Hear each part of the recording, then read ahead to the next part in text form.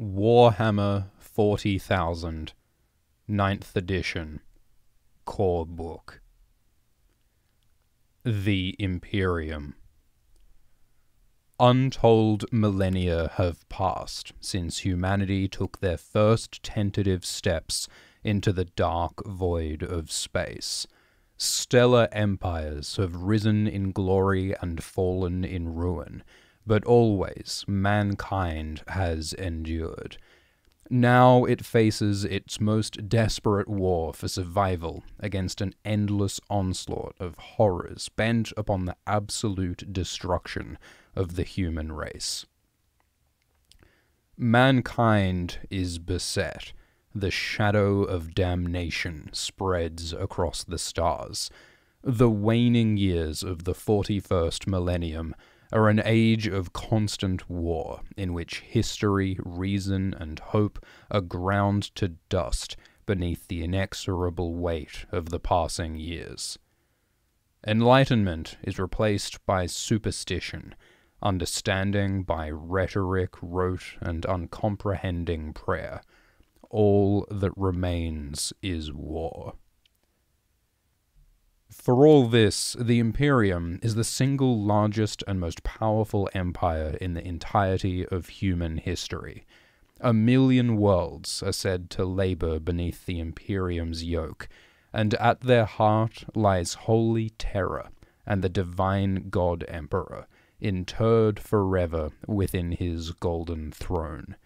This vast domain is envisioned by its rulers as a solid, unified whole its star systems divided into segmentums and sectors, its populace united by bonds of species and by the overarching imperial faith. The High Lords of Terra, the Ecclesiarchy, and the Adeptus Administratum issue edicts of rule in the Emperor's name.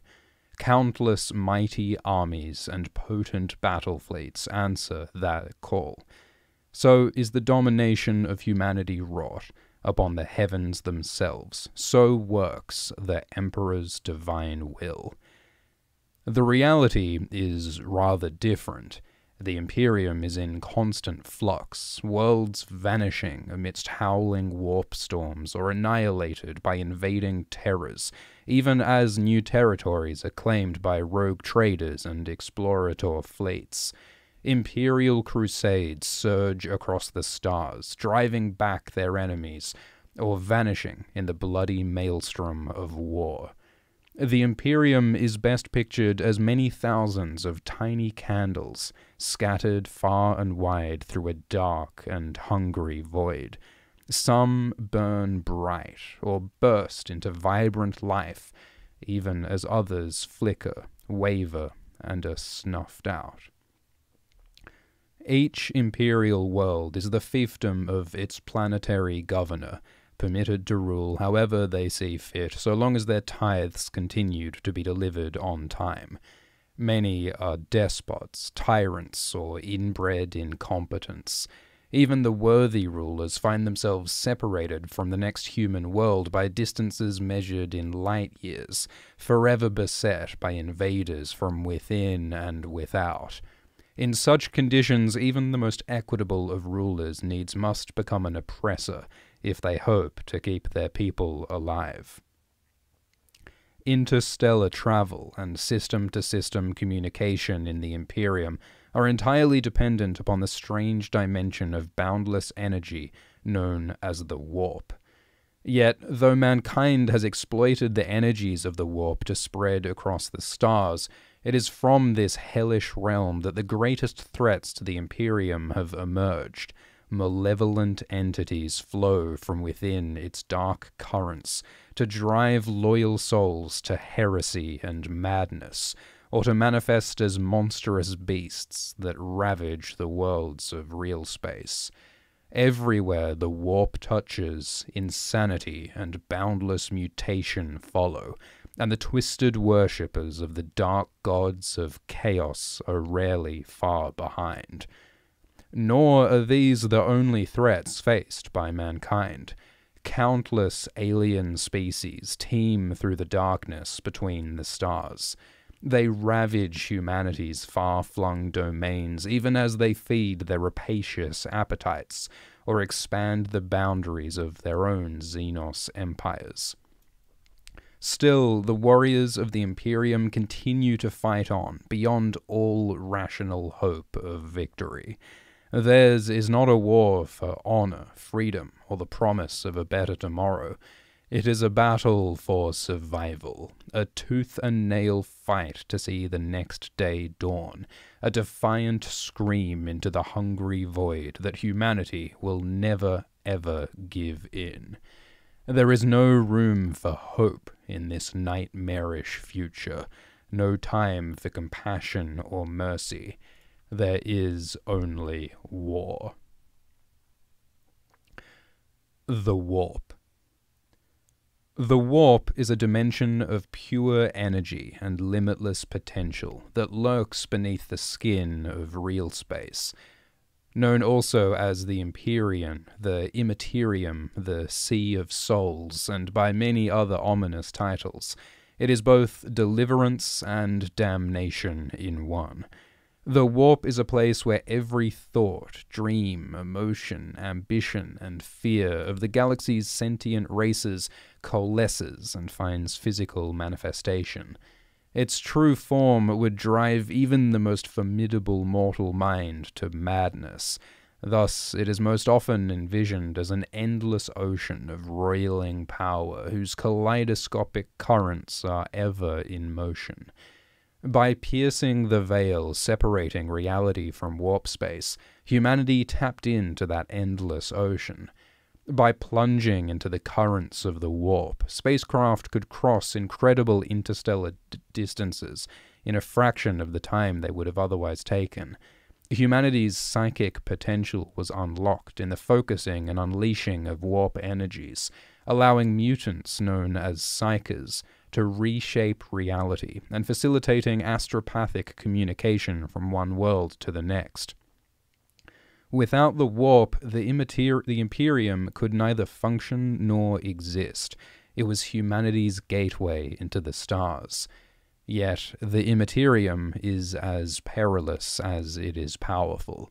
Like any great ocean, the Sea of Souls knows ferocious tempests and violent storms that can devour unwary craft, or spill into reality to ravage entire systems with plagues of rampant mutation and nightmarish phenomena. Worse, the warp is inhabited by uncounted legions of malevolent entities.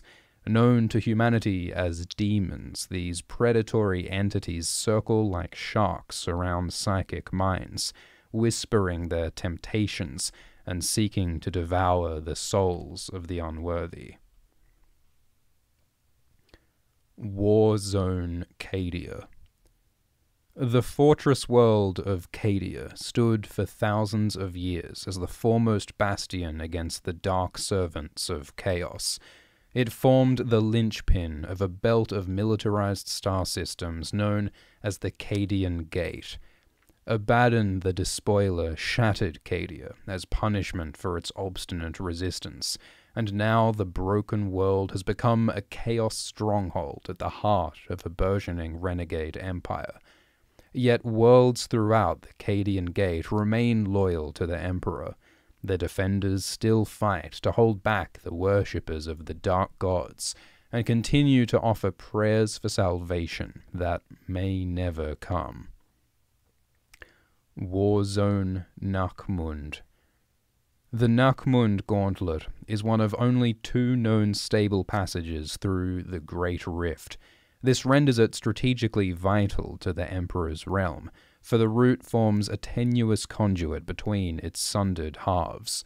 Imperial worlds lay at both mouths of the channel, Sangua Terra in the Imperium Sanctus, and Vigilus in the Imperium Nihilus. Both planets and their surrounding systems are under ferocious attack by the worshippers of the Dark Gods, while marauding Xenos forces strike at both factions with equal savagery. Meanwhile, Chaos Knights from the tainted world of Dharrovar, which lies in the Gauntlet's throat, march out to lend their monstrous might to the ongoing wars. Warzone Baal. Baal is the homeworld of the Blood Angels, one of the most ancient and noble of all the Adeptus Astartes chapters, lying at the heart of a savagely beautiful region of space known as the Red Scar. It is also firmly on the wrong side of the Great Rift. Worse, Baal and its surrounding systems are embroiled in an ongoing war for survival against a vast tendril of the Tyranid hive fleets. Nor is this their only peril, for the demons of the chaos god Khorne have struck at Baal once already, and will doubtless do so again. The Blood Angels and their successor chapters lead a ragged alliance of imperial armies to drive back the enemy on every front, yet their fight is a desperate one. War Zone Ultramar. Located in the galactic southeast, Ultramar is arguably the Imperium's greatest and most magnificent bastion. It is the stellar empire of the Ultramarines chapter, ruled justly by them and defended by their battle brothers, their successor chapters, and vast forces of the Astra Militarum and Imperial Navy. Still, in this dark age, it is beset.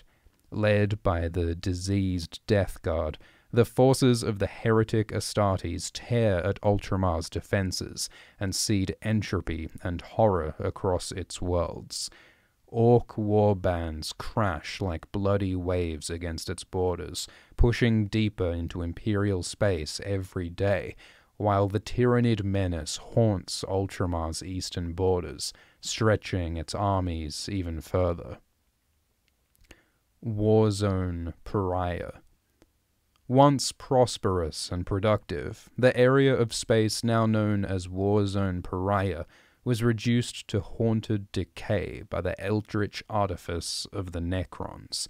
Imperial forces responding to the region's sudden silence found planet after planet where cities and manufactorums lay abandoned as nature reclaimed them. Necron war engines and ghoulish android warriors stalked through the ruins, unleashing terrible weapons upon the shocked Imperial armies, who fought back with a mixture of fury and horror. Conflict rages through the region still, fought beneath an oppressive shroud of anti psychic energies that threaten with every passing moment to steal the very souls of the Emperor's warriors the Imperium Sanctus.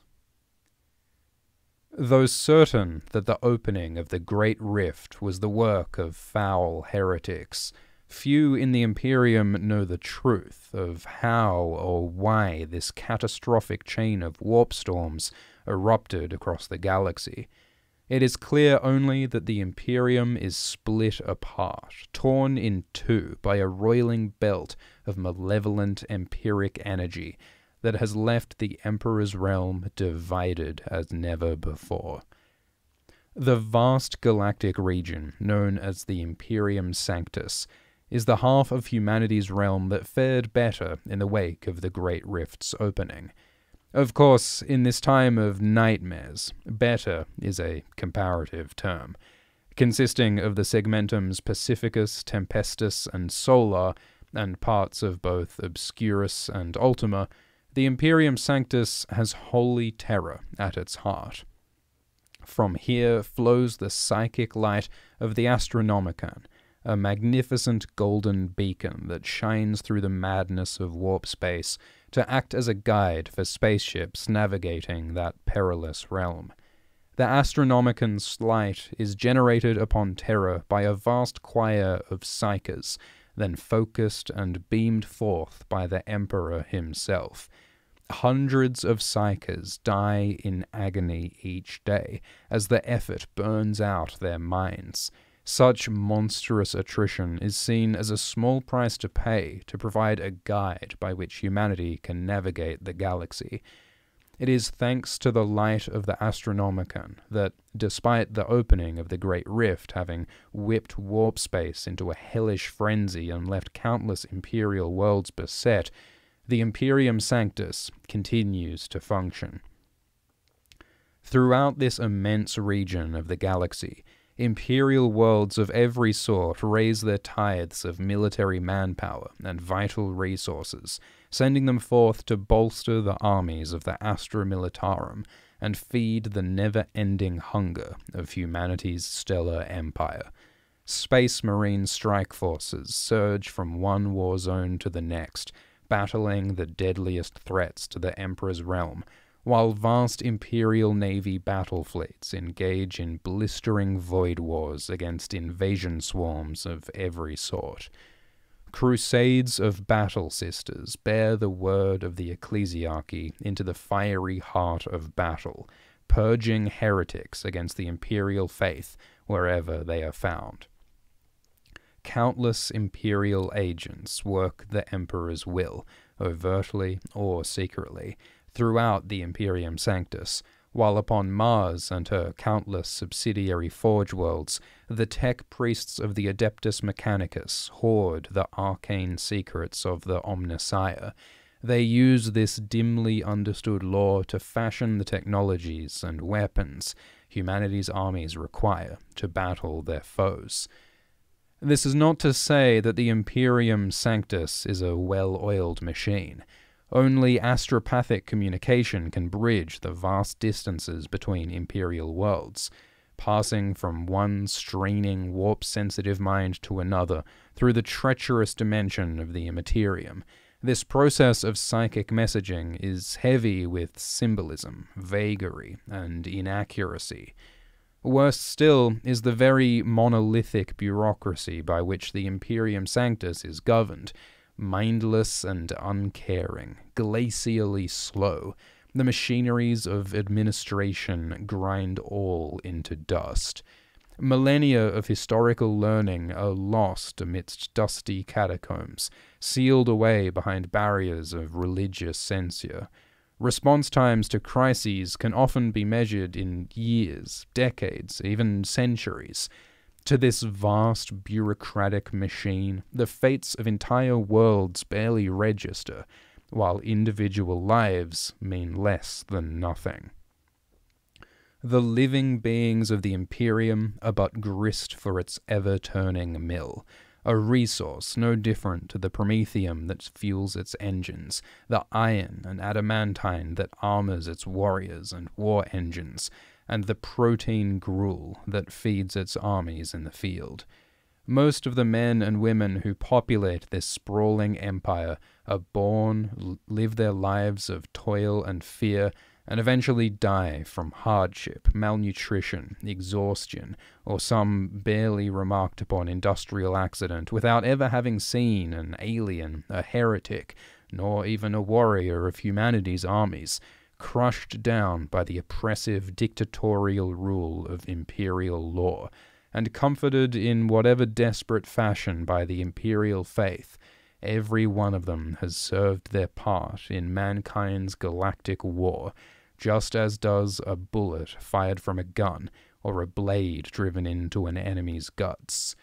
Truly, only those who take to the stars to war or conquer in the Emperor's name stand any chance of seeing more existence than this, and even then, much of what they witness is invariably horrific. For all its nihilistic misery and soulless oppression, the Imperium Sanctus continues to grind onwards its sheer weight and momentum carrying it forwards through tragedies unnumbered and hardships untold. This is humanity's every effort turned wholesale to sustaining total war, all the while praying to the Emperor that one day this nightmare may finally end. To sail the sea of souls. Warp travel is the only way for humanity to remain a spacefaring race. Yet, it is no simple matter. Even a single warp jump involves perils beyond imagination, and a long voyage across the Imperium may require dozens of such jumps. Even to pierce the veil requires warp drives, dark marvels of arcane engineering that tear back the skin of reality and allow a ship to plunge into the immaterium or to claw its way back out.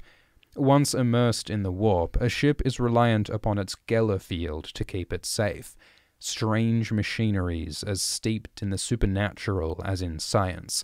These devices enfold the ship in a localized bubble of reality. A vessel in the warp burns like a beacon to the predatory entities of that terrible realm. The souls of its passengers are an irresistible draw to them. Should a ship's Geller field flicker or fail, then the craft will surely drown in a tide of nightmares, the souls of all on board forfeit.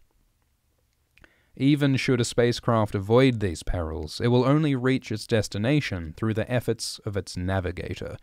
Strange mutants, whose third eyes can read the tides and currents of the warp. These beings guide human vessels through the Empyrean, praying always to emerge again alive, sane, and untainted. The Imperium Nihilus. Vast tracts of imperial space lie beyond the roiling warp storms that make up the Great Rift. Cut off from all but the most determined aid, blind to the Astronomicon's light, and beset on all sides by legions of nightmarish foes, the worlds of the Imperium Nihilus must look to their own survival by whatever horrific means necessary. The region of space known as the Imperium Nihilus is cut off from Terra's light by the warp storms of the Great Rift. Not only is the light of the Astronomicon obscured by these raging tempests, but there are also only two comparatively stable channels through which Imperial fleets are able to cross the storm front.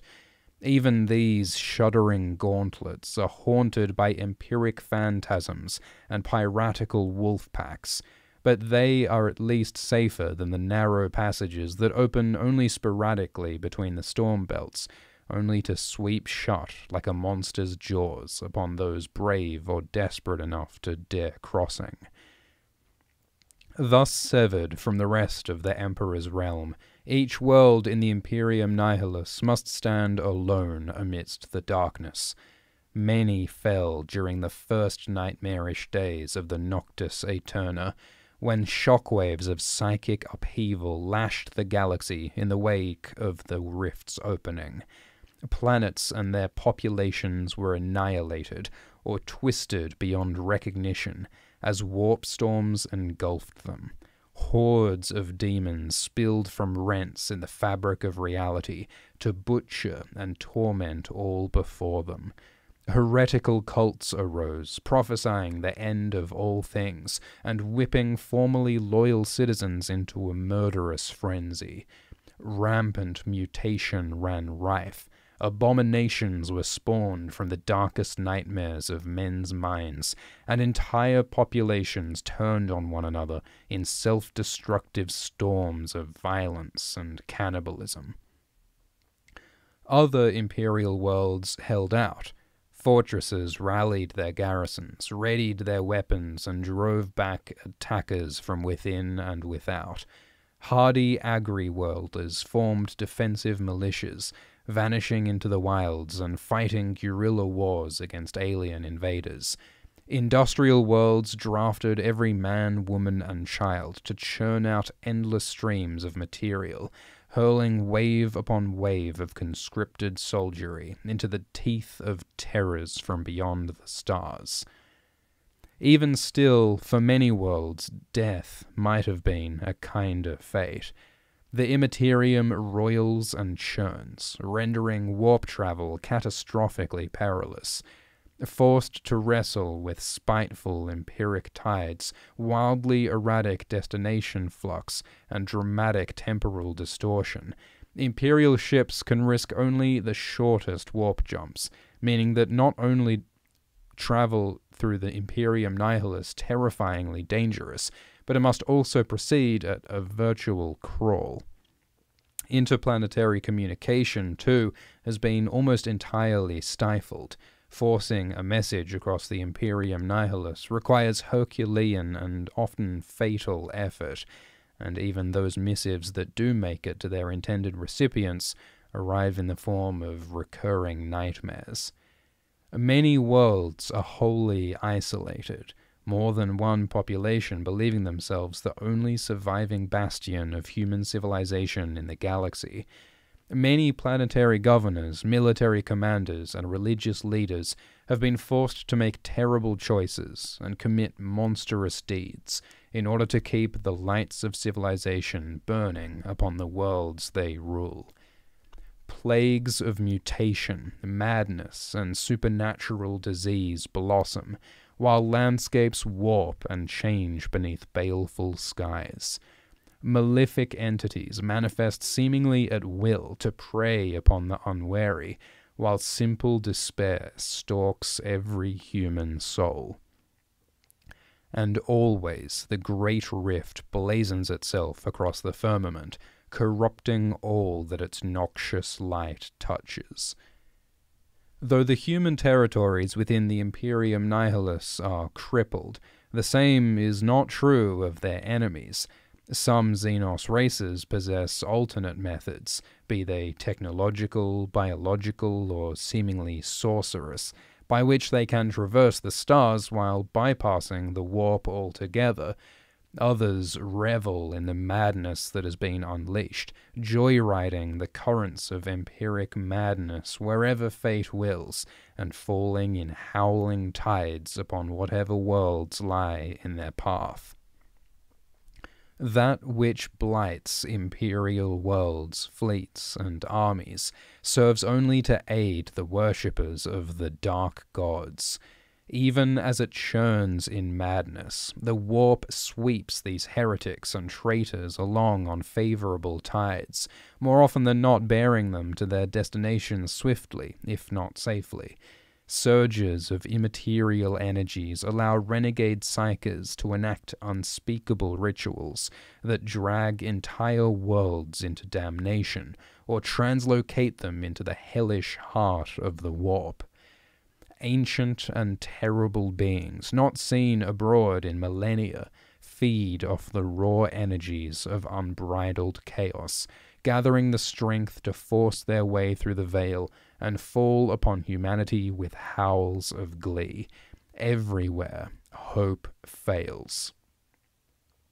Still, the loyalist worlds of the Imperium Nihilus fight on, shoring up their faltering hope with unbridled hate.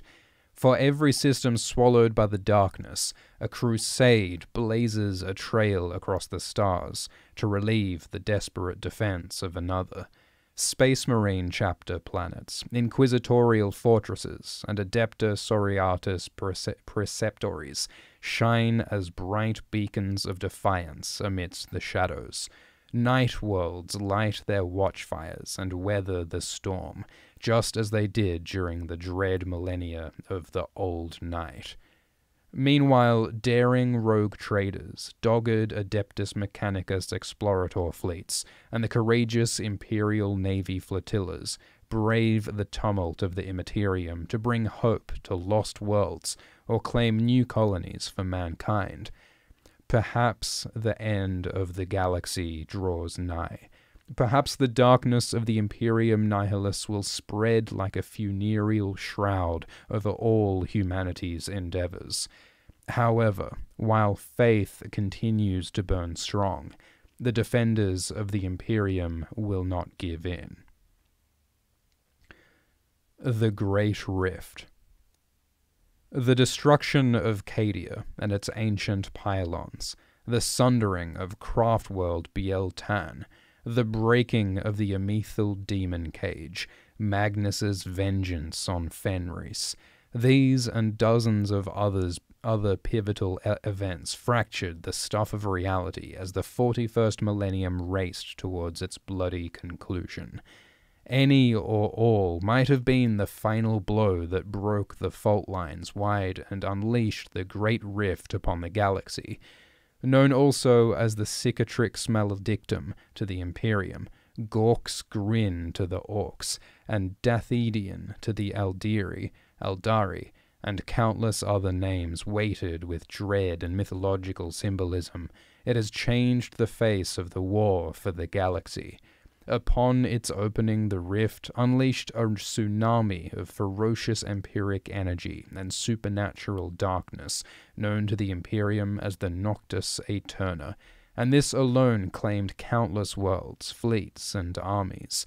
Though that shadow has receded, still the rift roils and spreads, devouring entire races with its unnatural fury. The Emperor of Mankind. To the vast majority of humanity, the Emperor is a god. He is the divine presence who sits the golden throne of Terra. He is guider, ruler, the higher power to which they offer their prayers for aid and deliverance. He is depicted and worshipped in myriad forms by souls beyond counting. Most would be driven mad with despair if they knew the truth. Ten thousand years have passed since the Emperor arose on Holy Terra. It was he that united the warring remnants of humanity and led them to reclaim their lost stellar empire. Records of that glorious age are gone, ground to dust by the weight of passing aeons, or lost amidst deeply buried and rune sealed vaults that none now can open. What remains is allegory, myth, and religious scripture that tells of a great crusade to drive back the darkness of old night and replace it with the golden light of the Imperium. The Emperor's gene sons, the demigods known as Primarchs, led his armies to, to reconquest. Before them no foe could stand. Eternal glory beckoned. Then came heresy. Then came the arch traitor, Horus, the emperor's fallen son. Horus made war upon his father's realm, leading fully half his mighty brothers into damnation alongside him, and in doing so served the will of the dark and terrible Chaos gods. Tales tell of a devastating war that swept the stars. World after world burned as the Imperium tore at itself in maddened fury, and the angels of the Emperor battled the demons of chaos for possession of humanity's soul. At the last, the arch traitor fell by the Emperor's hand, but not before he had crushed and rent his sire's body with his wicked talons. Legend tells that the Emperor ascended to his golden throne that day. His physical form was broken, sustained only by the device's arcane machineries. Yet his soul and his almighty psychic mind remained as powerful as ever. So began the Emperor's endless vigil over the human race. Though he could no longer walk abroad with his blazing sword and lead his armies to battle, still the Emperor shepherded and protected his people enshrined in countless ecclesiastical sermons, illuminated texts, magnificent frescoes, and immense stained armor glass windows across the galaxy, that teaching remains central to the imperial faith that the Emperor shields mankind from harm, battling the demons of the warp in the spaces beyond reality. So long as his servants remain faithful to him, the Emperor protects. In truth, the Emperor is a carrion lord, his body long withered and decayed. The arcane machineries of the Golden Throne encase his physical remains entire and preserve them using stasis fields and psi fusion reactors, but of the godlike being he once was, only his supreme will remains. The Emperor cannot communicate with those who serve him, cannot issue commands or make his desires known.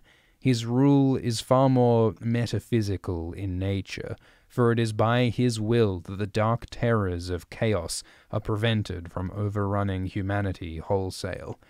Even as his mummified corpse writhes in eternal purgatory upon the golden throne, so his potent spirit still bestrides the warp, and does battle with the endless tides of malefic beings that would otherwise burst forth to tear his people apart. The Emperor has given all he has so his Imperium might endure, though it has diverged greatly from the realm of strength and civilization that he envisioned, endure it does. The Emperor's throne room is arguably the most heavily protected location in the entire Imperium. Ensconced at the very heart of the Imperial Palace on Terra, it is watched over by the golden armored giants of the Adeptus Custodes, magnificent warriors whose bodies resonate with the incredible energies of genetic alchemy, and whose entire existence is devoted to protecting the Emperor's physical personage and enacting his divine will. The palace itself is an immense fortress, its bastions built atop the throne world's greatest mountain range, its buttressed fortifications and enormous gun emplacements, fit to see off armadas that could despoil entire star systems. The void around Terra throngs with fleets, vast orbital defense platforms, and void born minefields. Yet for all this, the Emperor is still imperiled. From the stars come invasion fleets beyond number, heretics, aliens, and foul demons, all hurling themselves against the defenses of the Sol System in the hopes of breaking through to Terra itself. Worse still, though the finest magi of the machine god throng around the golden throne in never ending communion, must, uh, much of their ancient lore has been lost.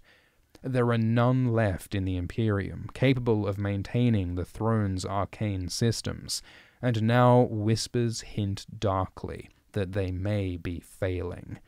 Since his internment, the Emperor has had to consume the souls of hundreds of psykers a day to sustain his existence.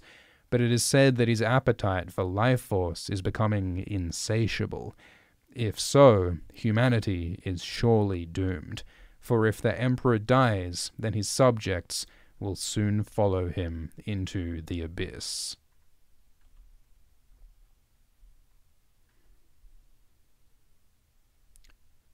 Rule of the Imperium.